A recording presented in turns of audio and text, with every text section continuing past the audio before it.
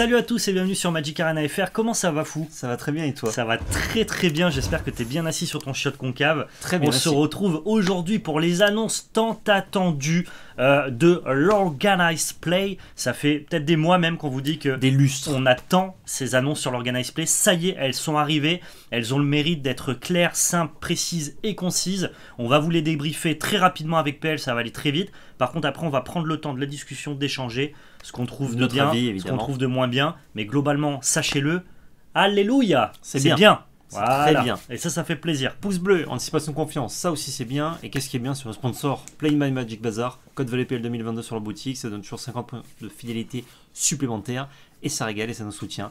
Merci à vous et merci Instant Gaming. Lien d'affilié dans la description. Payez vos jeux moins chers en passant par notre lien d'affiliation. Ça nous soutient, ça régale.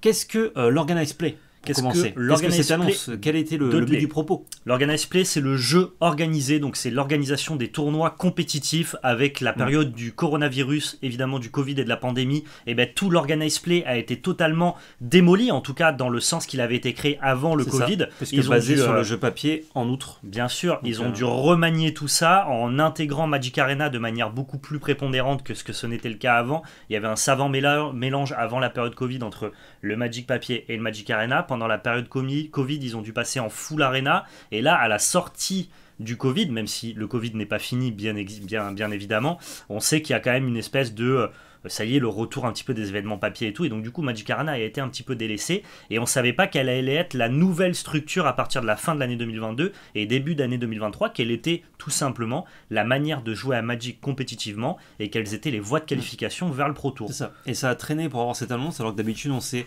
euh, souvent quand une année ça. commence comment va être l'année suivante, euh, sauf, sauf, euh, bah, sauf pandémie, quoi, qui Voilà. vient chambouler le Parce qu'en fait, ils ont rework tout le format. Donc, il faut savoir que tout ce que vous savez actuellement sur le format, tout a été rasé. On repart avec un nouveau format euh, dont on va vous parler. C'est fini la MPL, c'est fini la Rivals League, c'est fini les joueurs professionnels de Magic. On repart à un système qui existait avant l'ère Magic Arena. Voilà. Et donc, on va vous expliquer ça tout de suite. Pouf, on arrive sur ce schéma et ce que j'aime avec Wizard ce, ce coup-ci, c'est qu'ils nous ont fait un schéma clair, net, précis qui résume l'intégralité de l'Organized Play à partir de fin 2022. Schéma pyramidal. C'est Moi, je schéma- connais. Oula, attention Voilà, les Attention. champions du monde recrutent des Pro Tours, qui recrutent des Regional Championships, qui Allez, recrutent les. Regional euh, Championship Qualifiers Donc, et quand tout s'écroule, c'est ceux qui sont en bas qui sont, qui sont lésés. Oh là là, et qui sont du coup champions du monde. Oh, le Wizard of the Oh. Coast fait une pyramide de Ponzi. Aïe aïe aïe aïe aïe. Et non, là c'est une très belle pyramide, c'est une Ouais. très bonne pyramide même, euh, avec seulement 4 étapes, euh, loin des formats complexes, euh, avec des points, avec ci et machin, tuc, tuc, tuc. Bon, oh, un follow, après une vidéo, merci, Merci. beaucoup. Il y avait ben, un peu une incompréhension de la part des joueurs, et c'est vrai que les gens disaient, mais je comprends pas le système compétitif, moi je joue à Arena, je fais mon top 1200, je me qualifie pour les week-ends, mais après je sais pas comment ça marche. Hmm. Et c'est vrai que ça a beaucoup changé bah, à cause de la pandémie notamment. Et là, on revient à un système beaucoup plus classique. euh, où au final, euh, si on reprenait un peu les noms d'avant, ça aurait pu prendre exactement la même forme, mais comme il y a différents noms et différents types d'événements, hein, c'est pas exactement la même chose qu'avant, ça a pas mal changé. Euh, on va commencer par le haut ou par le bas? On va commencer directement par le bas. Il faut euh, se rendre compte quand même que cette pyramide-là ne prend en compte que le jeu papier. On reviendra très rapidement après Mm. sur le jeu numérique, Ah, donc dédié le- à Magic Arena. La moitié du haut prend le jeu papier, mais la moitié du bas prend euh, en compte Arena par contre. Ouais, mais on, on y reviendra plus tard. Là, admettons que ça soit juste le Magic Tabletop. Tu vois, les Regional Championship Qualifiers, Ouais. ce n'est que le Magic papier. C'est juste que tu auras des ponts, en Mm. fait, qui peuvent se substituer à ces Regional Championship Arena. Pour attraper le haut de la pyramide. Mais là, actuellement, cette pyramide, c'est seulement du Tabletop. Ah oui, non, c'est que tu peux passer directement au Pro Tour. Exactement, par en passant par les formats numériques. Mais là, Wizard of the Coast a la volonté de redonner vie au Magic papier, Mm. c'est-à-dire que euh, entre guillemets la petite aventure e-sport de Magic euh, via Magic Arena, on a totalement dodge euh, ce truc-là.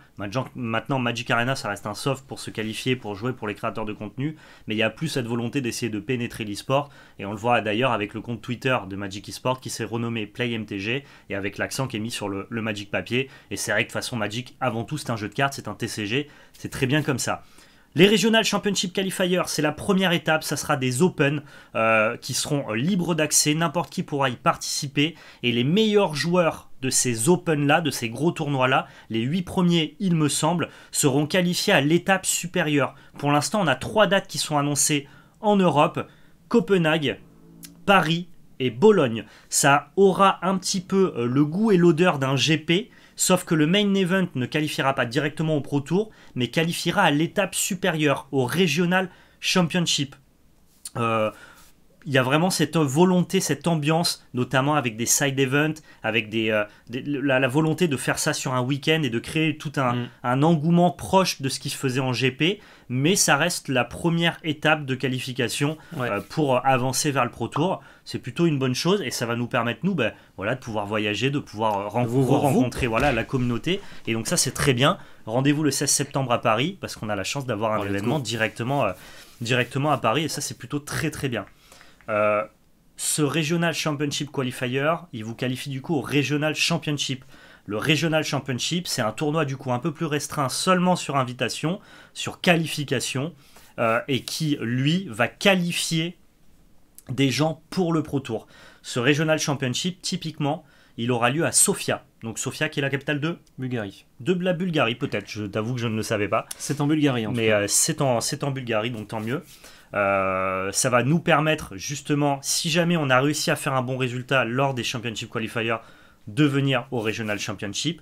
Et enfin, ceux qui auront un bon résultat au Regional Championship, vous pouvez participer au Pro Tour, qui est la haute sphère compétitive de Magic, anciennement appelée Mythic Championship pendant l'ère Mm. Arena, mais qui avant s'appelait déjà Pro Tour, donc le ça. tournoi des pros. Typiquement, ce qui va arriver au mois de mai, donc le New Capena euh, Mythic Championship. C'est comme si c'était le Pro Tour En fait, Capena. finalement, euh, c'est exactement la même chose, sauf que ce sera en papier et non pas sur Arena. Mais c'est le même, euh, le même principe de tournoi. Exactement. Donc on sait que sur le Pro Tour, il y aura 500 000 dollars de cash price à lisser sur l'entièreté des Ce participants. qui est beaucoup. Environ 300 en moyenne, c'est très très bien. Ça permettra peut-être à tous ceux qui sont qualifiés d'avoir déjà un minimum pour pouvoir au moins payer le billet d'avion et ça c'est super bien. Mm. Et enfin, Alors, on ne sait pas comment c'est réparti encore par contre. Ouais, on mais je- espère que c'est lissé. en fait ils ont une politique de lissage depuis 2-3 ans, je les vois pas forcément revenir en arrière sur ça. Je pense pas non plus. Voilà, d'autant plus qu'ils payent pas les billets d'avion pour les Pro Tours, donc j'espère qu'ils auront cette politique de lissage qui continue. Mm. Euh, ça, me paraît, ça me paraît plutôt cool. Et enfin, euh, culmine à la fin de l'année, une fois par an, le World Championship becomes the World Champion. Donc tous les meilleurs performeurs lors du Pro Tour euh, se retrouvent du coup dans un tournoi à 128 Ouais, joueurs. beaucoup plus qu'avant, enfin qu'avant, qu'actuellement plutôt. Mm. Euh, et euh, pour le coup, on peut même se qualifier directement en étant vainqueur, il me semble, d'un Regional Championship.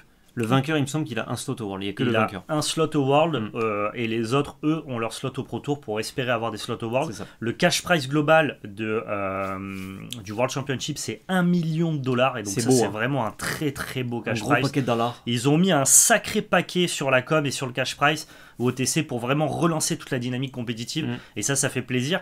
Vu qu'ils ne payent plus, ils ne salarient plus des joueurs professionnels comme c'était le cas avec la MPL et la Rivals League, bah évidemment, ils ont plus de sous à réinvestir dans des euh, événements de grande ampleur et aussi dans, dans le cash price. Donc ça fait, ça fait plutôt plaisir. Euh, Il y a une organisation, cette pyramide que vous voyez là. euh, les deux premiers socles de la pyramide, donc avant le Pro Tour et le World Championship, c'est une organisation régionale qui est déléguée à certaines structures. Par ça. exemple, la structure, liste dans le Dans dans l'article l'article. qu'on vous met en description.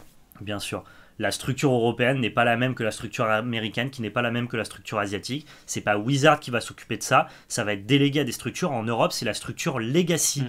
Euh, cette structure-là, d'ailleurs, vous pouvez déjà visiter leur, leur, euh, leur site, et je pense que vous pouvez même déjà vous inscrire sur ces fameux événements, les Regional Championship Qualifiers, qui sont assimilés à des GP Mm. et auxquels vous pouvez participer, ne serait-ce que pour faire des side events.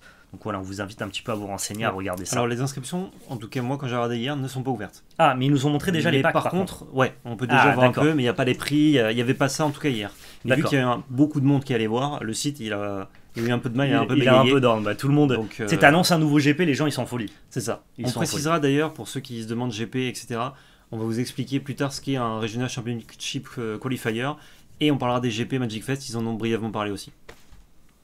Voilà, je pense qu'on a fait le tour sur, euh, sur cette pyramide. Euh, vous voyez, une méthode de, méthode de qualification en Magic Papier très simple, avec quatre étapes bien différentes. Un Open pour tout le monde, un, un autre qualifier mais sur invitation, Yep. into le Pro Tour, into les Worlds. Et ça, pour le coup, bah, c'est ce qu'on attendait en fait, c'est l'ancienne formule. Et ça, euh, régale. Concernant les voies de qualification numériques, alors pour MTGO, ceux que ça intéresse, ça ne bouge pas. Euh, en tout cas, de ce qu'on a vu, il y a toujours les MTGO euh, Showcase, je crois que ça s'appelle, Ouais. euh, qui vont continuer, qui donneront des places toujours au Pro Tour, etc. Du coup, euh, ça, je sais pas si la fréquence ou quoi va bouger, mais ils ont mentionné à deux reprises que c'était comme avant normalement, donc logiquement, let's go. Ouais. Et pour Magic Arena, alors il y a pas de changement dans la méthode de qualification. Par contre, le changement principal, c'est sur les Pro Tour et World Championship qui n'auront pas lieu sur Arena, qui auront lieu en papier. Et c'est pas pour cette année, pour fêter le retour du papier, etc. Ils ont une volonté. Après, Wizard, ils peuvent revenir sur la décision, ils peuvent Bien changer d'avis, etc. Mais ils ont une volonté que les, euh, les très hauts euh, événements compétitifs, ou les événements très compétitifs, donc Pro Tour et World Championship, 4 événements par an, soient en papier. Qu'il n'y ait pas de Arena là-dessus. Donc où il y aura un coverage, etc. Mais euh, ce sera du coup avec des cartes papier filmées, etc. Les, les briscards diront tant mieux. Les, euh, la Gen Z, un peu la génération Arena, diront ah dommage parce que c'est vrai que c'est un coverage différent, c'est un peu moins lisible que du Arena, mais euh, c'est la, la principale différence. Par contre, Arena n'est pas du tout délaissé. Ne vous dites pas que c'est bon, euh, on désinstalle le soft, on rachète des Pas cartes. du tout, il y a des voies de Parce qu'il y a qualification. toujours des voies de qualification. euh, et c'est toujours les mêmes. On fait toujours top 1200, en tout cas pour l'instant, parce qu'il va y avoir un article qui va être publié d'ici fin avril, euh, qui va expliquer du coup les nouvelles, enfin l'entièreté du système de qualification euh, numérique, dont Arena. Et du coup, on aura tous les détails là.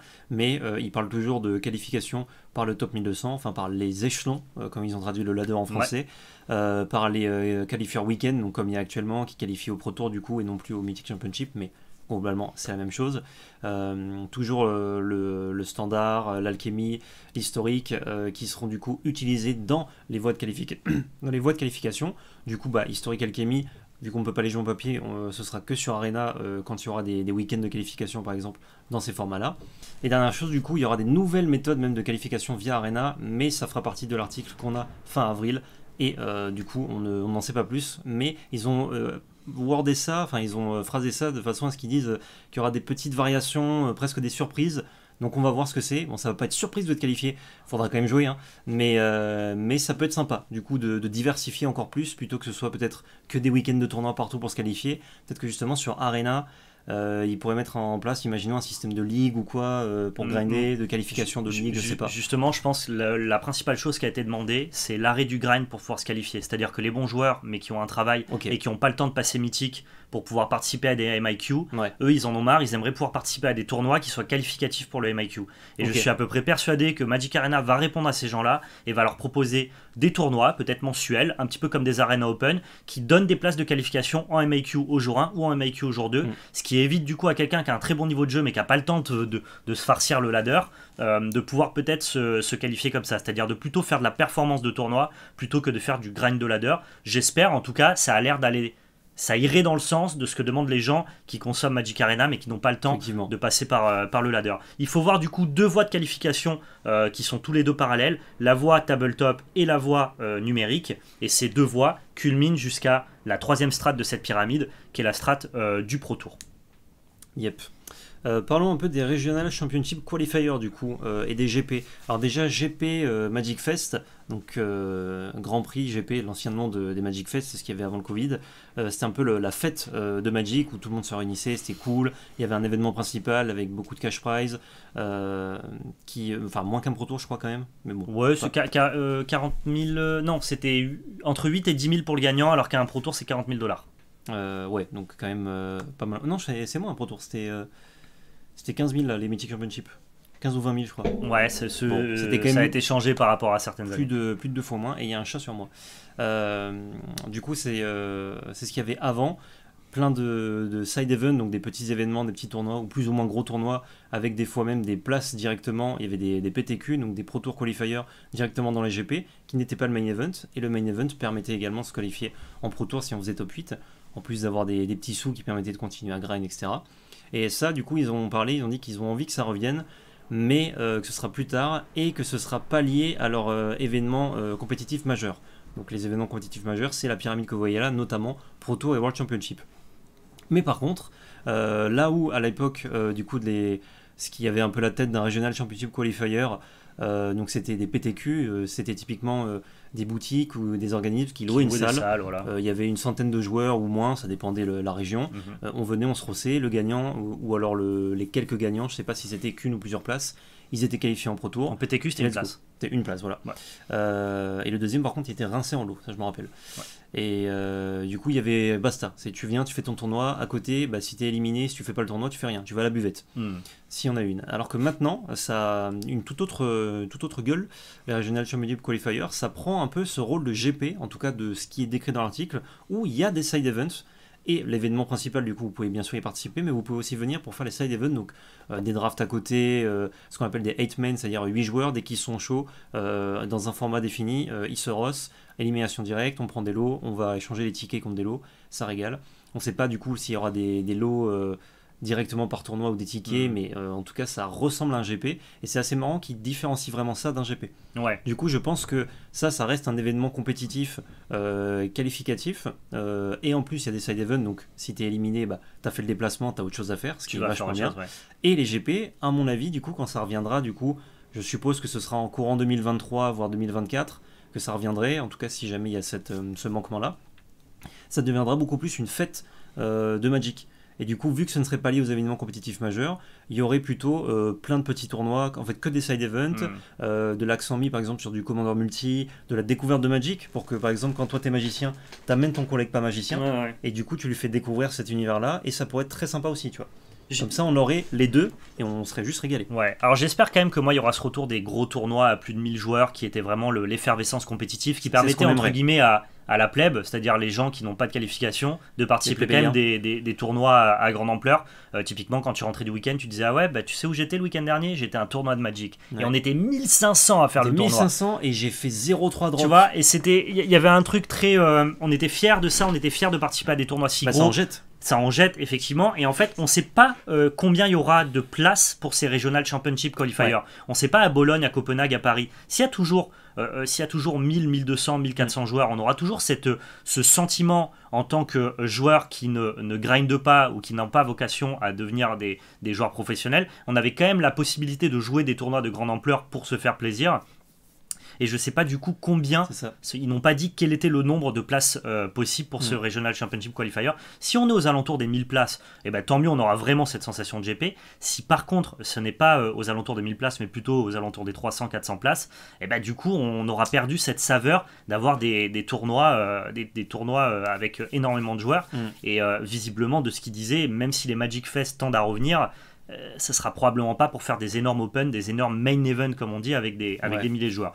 C'est une perte qui est pas très grave dans l'histoire de Magic globalement. Moi, ça m'affecte un peu parce que j'aimais ce sentiment de participer à un tournoi où on était euh, 1500 sur la ligne de départ euh, et à la fin il y en a qu'un qui le gagne. plus gros tournoi compétitif sans Voilà. invitation. C'est ça, et donc voilà, j'espère, on n'a pas encore la réponse, j'espère que ces Regional Championship Qualifiers sauront un petit peu Mm. faire vraiment ce qu'ils veulent faire, c'est-à-dire être le mix parfait entre un PTQ et un GP, c'est-à-dire être un PTQ du coup avec plus de 1000 joueurs, ça serait vraiment incroyable, quitte Ouais. à qualifier euh, énormément de joueurs euh, euh, au bout. quoi. Ouais, bah, surtout ce que j'espère, c'est que si jamais il y a effectivement pas un très grand nombre de places pour l'événement principal, c'est que ce soit illimité pour tout ce qui est à côté. Hmm. Comme ça, si jamais tu t'y prends un peu en, retard, tu, genre tu pouvais pas venir à la base, finalement tu t'es libéré ou quoi, tu te dis pas ah merde c'est trop tard, il y a pas de place, Euh, mais plutôt euh, juste euh, Je vais faire vais, du side event. je vais faire de mes petits drafts, je vais revoir mes collègues, on va boire des coups, euh, tu passes un week-end de magicien euh, avec quand même euh, de la compétitivité parce qu'il y a ça. plein de petits tournois. En tout cas, c'est vraiment le, le retour de l'effervescence communautaire et ça, on, est, on en est très Ouais. heureux quoi qu'il advienne. Les Regional Championship Qualifiers en Europe, tous ceux qu'on pourra faire, on ira les faire et ça va être très très cool. C'est ça. Me vient une idée d'ailleurs. Je Oui. pense pas qu'il y ait de limite de place. En tout cas, ça dépendra de l'infrastructure. Parce que si jamais il y a une limite trop basse, il y a des gens qui vont acheter des places et les revendre. Et les revendre, Et possible. du coup, ça, je sais que c'est pas le genre de truc que Wizard aime bien. Alors, c'est la base du jeu d'acheter les cartes pour les revendre, hein, euh, finalement. Mais euh, Oui, il y a un tirage qui est quand même beaucoup moins limité que s'il y a que 300 places. Tu vois. voilà. Non, Donc euh, je pense que ça, ça leur plairait pas. Et aussi, il faut savoir que les Regional Championship Qualifiers, les Regional Championship aussi d'ailleurs, les, les deux trucs en fait sont gérés du coup comme tu disais par des organismes et ils sont gérés différemment suivant la région. Ouais. Donc nous, notre région, c'est Europe. Euh, Moyen-Orient et Moyen-Orient, Afrique. Euh, Il y a une autre région, par exemple, c'est Japon-Corée, une autre région, c'est Canada, une autre région, c'est États-Unis. Donc c'est divisé en deux chez eux. Mhm. Euh, Il n'y a pas euh, forcément euh, la même gestion, le même cash price, je crois, même nombre de, de places. Et il y a déjà des structures qui ont communiqué. Je crois DreamHack, c'est ceux Mhm. qui s'occupent des États-Unis. Des États-Unis, ouais. Eux, ils ont déjà communiqué euh, là-dessus. Donc, Après ça, c'était euh, déjà le cas. C'était déjà le cas à l'époque. Les grands prix, donc les Magic Fest dont on Mm. vous parle et tout, étaient déjà pas gérés par les mêmes structures. On avait par exemple oui, oui. Chanel Fireball qui gérait la structure américaine à une époque. Après, elles ont géré l'entièreté des structures, même en Europe. Mais en Europe, par exemple, à l'époque, nous, notre sponsor, c'est Play-In. Ils ont organisé des GP. Bazar of Euh, voilà. Bah, Non, c'est pas pareil. Bazar of Moxen, c'est leur tournoi. Mais ils ont fait Ah non, des GP. leur tournoi, Ils ont fait des GP, euh, Magic Bazar pour vous donner Ouais, un ordre d'idée. Donc ça, pour le coup, même si c'est pas les mêmes structures, on aura quand même globalement un petit peu Oui, une ça recette sera pas- similaire. Très différent. Non. Mais euh, genre, si vous allez regarder les infos US en vous disant, ok, c'est ça, non, non, non, non, pas voilà. forcément. On a notre propre structure. Me vient du coup une dernière chose dont on n'a pas parlé. Le coverage, le coverage, vous savez qu'avec. PL, nous on vous, euh, on vous co-cast à chaque fois, on vous co-stream les euh, plus euh, gros événements de Magic, notamment bah, du coup les Mythic Championship qui sont les Pro Tours Pro Tour, ainsi ouais. que les World Championship. Qu'est-ce qui va advenir du coverage? Eh bien écoutez, le coverage du Pro Tour, même s'il est en papier, et si Wizard nous euh, redonne encore une fois de plus leur confiance, eh ben on continuera évidemment à caster ces événements-là, que ce soit le Pro Tour et le World Championship, bien évidemment. Pour ce qui est du coverage du Regional Championship, donc la strate juste en dessous du Pro Tour, le fameux tournoi qui se passera sur qualification à Sofia en Bulgarie, eh ben pour le coup c'est pas Wizard qui gère le coverage, c'est Legacy, la structure qui est en Mhm. charge de cette organisation-là. Ils ont dit qu'il y aurait un coverage, mais on sait pas qui fera ce coverage-là. Et on ne sait pas si on a le droit de co-streamer ce coverage-là. Donc là, c'est encore une zone d'ombre sur laquelle on peut pas Dès communiquer. on vous dit. Mais on va se renseigner, on va peut-être en rentrer dans les DM de Legacy pour leur dire salut, nous en. France, on fait bien le job. Si vous voulez un coverage français, coucou, on est là, qu'il soit sur place ou qu'il soit à distance. We do the euh, job. Et en plus, via, décalage euh, horaire via un stream. quasi inexistant. Quasi inexistant, donc on ferait des coverages en journée. Putain, ça me donne envie de me lever de ma chaise. Oh putain, je me lève. Mais je vais pas le faire. Non, Je vais lève. pas le faire. Mais donc ça, voilà, ça pourrait être incroyable et ça nous rajouterait du coup un petit coverage supplémentaire. Dernière chose sur laquelle on n'a pas forcément communiqué, vous dites ouais c'est bien les pro tours ils sont là et tout, il y en a combien? Il y en a trois par an. Voilà, vous avez trois pro tours dans Ah, on l'a dit, je crois. et ça fait On plaisir. a dit il y a 4 événements, 3 protos un- et les World Championship. Eh ben, on le redit. Putain, je me suis pas écouté. Euh, Qu'est-ce qu'on pense de ces annonces? Même si vous l'aurez compris, on est content. Bah, bien sûr qu'on est content évidemment, je suis super content, j'aime bien cette espèce de mix entre le retour des PTQ, donc les Pro Tour Mm. Qualifiers et les GP, ce qui donne du coup fusionner ce Regional Championship Qualifier, c'est-à-dire que tu participes à un PTQ mais quand tu perds, bah t'as l'effervescence communautaire et les side events. J'aime bien que ça te qualifie pas directement au Pro Tour, mais que tu puisses aller jouer sur invitation à ce qu'on appelle peut-être l'antichambre du Pro Tour. Je pense que Mm. ça va être quand même des tournois super intéressants. La salle d'attente du Pro Tour. Regional Championship, c'est un peu ouais, la, la salle d'attente du Pro Tour. Les Pro Tours en papier, je pense que les gens demandaient vraiment ce retour-là. Pour tous ceux qui suivent même euh, ma, ma petite aventure euh, de retour vers le Pro Tour en stream, vous voyez à quel point c'était incroyable les Pro Tours papier. J'espère par contre, et je pense qu'avec toutes les coupes budgétaires, du fait qu'il n'y ait plus de MPL, plus de Rivals League et plus euh, d'e-sport, euh, entre guillemets, euh, sur, euh, sur Magic, je pense qu'ils ont quand même la ressource monétaire suffisante pour nous faire un cast d'une qualité maxi plus. Comme vous l'a dit PL, si c'est plus sur Arena, il va falloir faire un effort de lisibilité Mm. supplémentaire pour pouvoir quand même rendre le coverage le plus accessible possible. Et je suis sûr, je le signe maintenant, qu'on va être étonné.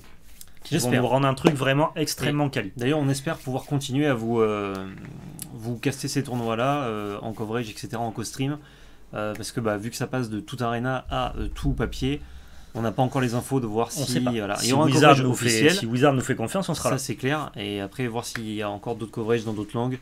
Euh, m'est avis que oui, mais bon. Euh, c'est vrai que un coverage, euh, quand c'est des cartes papier, c'est encore plus important que quand c'est sur Arena parce que c'est un peu plus dur à suivre, un peu moins lisible. Du coup, avoir des, des gens qui, euh, qui sont là pour euh, Qui justement euh, bien tout suivre, bien décrypter, bien voir bah, les cartes en main, suivre tout ça, c'est encore plus important que sur Arena.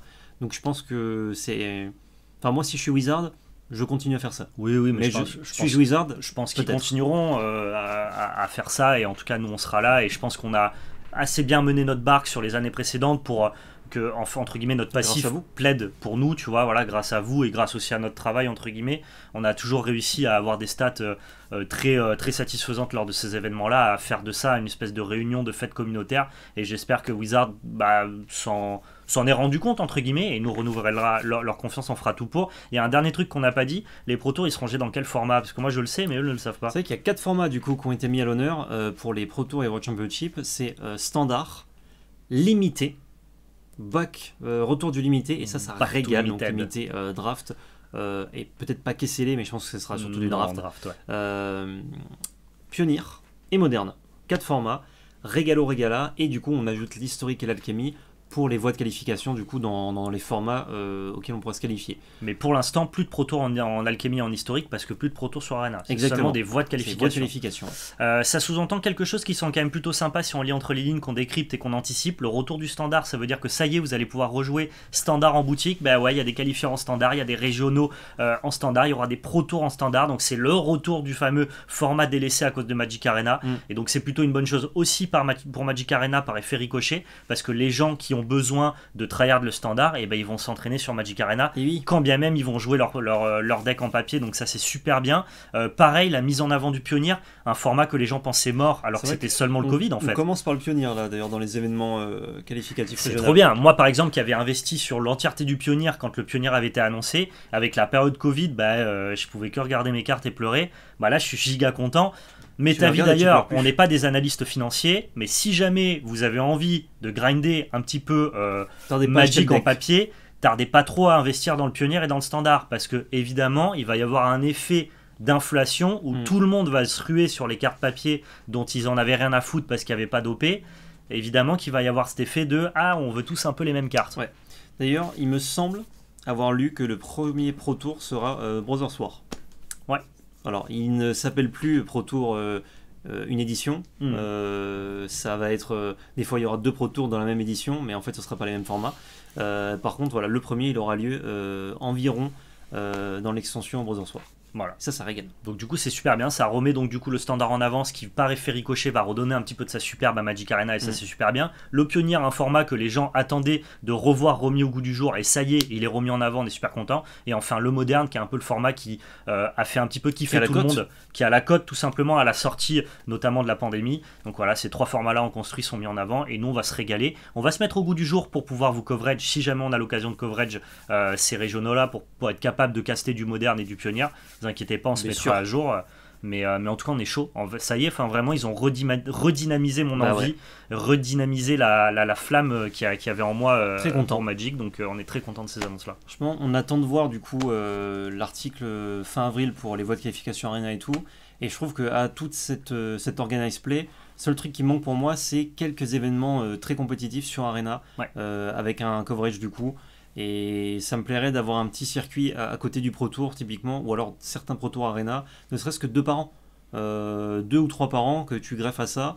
Et, euh, et comme ça, on a un petit peu les, les, deux, les deux représentés. Donc Arena qui continue de- d'exister fort, euh, plus ton papier qui est, qui est redoré Ouais. comme Jaja. Et ce serait cool, tu vois. Au moins pour la transition, ça aurait été pas mal. Alors que là, on repart directement sur le papier. C'est ce que les gens voulaient, ce que tout le monde voulait. Ouais. Mais je trouve que c'est un petit peu abri pour Arena, tu vois, pour, Il y, a, en termes de coverage. il y a ce côté un petit peu ingrat de euh, c'est Magic Arena qui vous a permis d'avoir une continuité compétitive pendant une période de Covid où Mm. typiquement tous les autres TCG étaient à l'arrêt et vous, vous avez pu continuer à entre guillemets, à, à graille et à faire jouer votre communauté euh, parce qu'il y avait Magic Arena et maintenant qu'on sort euh, de la pandémie et que tout le monde a bien bien bien bien poncé Magic Arena c'est vrai que tu as sensation qu'ils le mettent un peu sous le tapis euh, en mode bon bah ça reste une voie de qualification ça reste un soft d'entraînement ça reste Ouais. un soft de création de contenu euh, mais par contre les protos on les fait plus dessus J'avoue que nous, à titre personnel, ça peut être entre guillemets sur euh, l'annonce qui est 100% positive. Si on veut pinailler, il y a un peu ce Ouais. sentiment d'ingratitude entre les organisateurs de l'Organize Play et, euh, et le Pôle Arena, pour le coup, qui,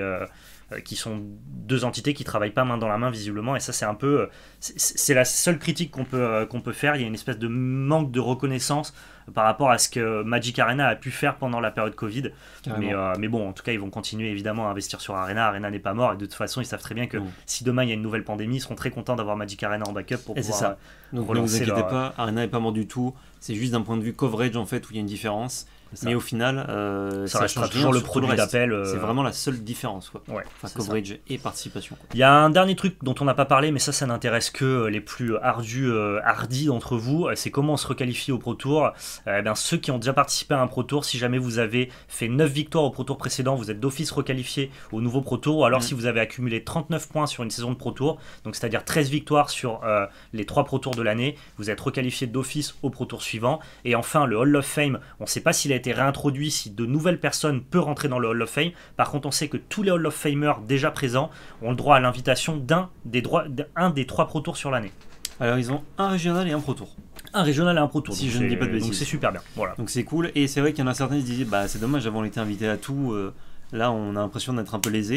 Et il y en a d'autres au contraire qui ont dit quand j'étais invité à tout, Ouais. j'avais pas l'impression de grind, juste bah, je venais, je jouais à Magic. Hmm. Alors que maintenant, Tu, tu choisis. genre, bah, j'ai mes deux invitations. Hmm. Par contre, si je veux tous les faire, bah, il faut que je sois bon. Bah, il faut que je grind. Moi j'aime bien, euh, je je-. J'aime je beaucoup le parti pris. Et j'aimerais encore plus s'il continue du coup d'avoir des Hall of Fame. J'aimerais bien justement ouais, que ça soit pas juste en mode bon allez on régale les Hall of Famer, Mm. vous pouvez revenir au Pro Tour. Euh, Moi j'aimerais bien justement que le Hall of Fame continue et que, je Ouais. sais pas, on peut rêver mais avoir un Jean-Manuel Deprat qui rentre dans le Ah, Hall mais of moi, Fame. j'arrive pas, hein, juste il va au Hall of serait- Fame. hein. il, il va y a- il faut quand même 10 ans de Magic derrière toi donc euh, Il il, sait peut-être pas de suite. il manque encore quelques années mais, euh, mais let's go il va, il va y rentrer c'est sûr on espère en tout cas qu'ils remettront ça en place Yes. Je pense qu'on a fait le tour de la vidéo on a donné notre avis on a décrypté tout si jamais vous Yep. avez des questions vous les mettez dans les commentaires on y répondra bien évidemment et on vous laisse l'article de toute façon On vous met, voilà, il y a plusieurs articles. Il y a euh, l'article principal, l'article récap, entre guillemets, qui est quasiment l'article principal, mais un peu plus court, et euh, l'article FAQ, qui est aussi très important. Je vous envoie, euh, enfin, je vous invite à aller le lire, parce qu'il y a des précisions, notamment par exemple sur les Magic Fest, qui sont faites dans l'article, qu'on vous aider à vive voix, mais voilà, si vous voulez aller le lire, c'est dans la description également. Fin de cette vidéo, pouce bleu, commentaire, partagez au moment. Si vous voulez nous suivre sur les réseaux sociaux, Twitter, Facebook, Discord, dans la description avec notre chaîne Twitch, VolPL Magic Arena FR. Et surtout, n'oubliez pas, c'était la belle magie